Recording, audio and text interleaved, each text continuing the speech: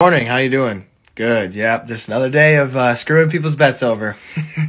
These people will never learn. Now you see this one. This one's really good, uh, except it's ten legs. We don't allow that around here. You know what I mean? People think they get it all figured out one day. They're like, "Oh, I'm gonna make this fourteen leg monster and it's gonna cash." Like, don't you know we only let a couple of those work a day? You know what I mean? Like a day. Imbeciles. But anyway, uh, real quick, who's uh who's on speed dial today? Julius Randle. Okay, gotcha. Sweet. Thank you.